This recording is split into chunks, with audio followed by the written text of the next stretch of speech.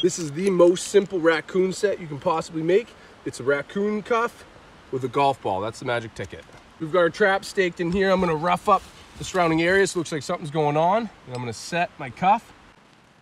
And I'm gonna bed it into place with that golf ball. Next, I'm gonna cover up the chain just so it kind of blends in. We're gonna add our bait into the cuff. This is just cat food, it's nice and simple. I'm gonna add a little bit of fur kicker. This is a stingray based bait.